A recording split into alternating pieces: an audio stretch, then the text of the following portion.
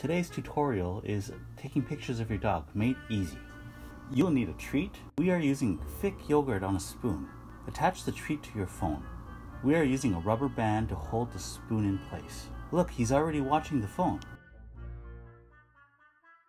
Look left. Look right.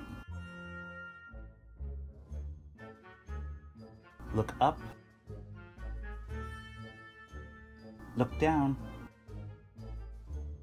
Give him a little taste. Yum yum. He loves it. Quick, take a shot. Perfect.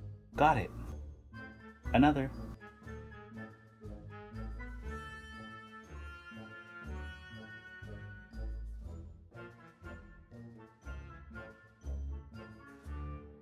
Awesome. Good boy.